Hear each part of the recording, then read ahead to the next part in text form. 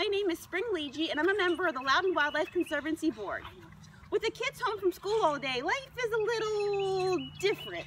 Mom, can I have these jeans? Monty Look. pushed Monty pushed me too. I She pushed me. Guys, I'm trying to take a video. Take a break from the noise and the whining and grab a glass of wine and register for Loudoun Wildlife's Wine for Wildlife virtual event. Hope to see you there.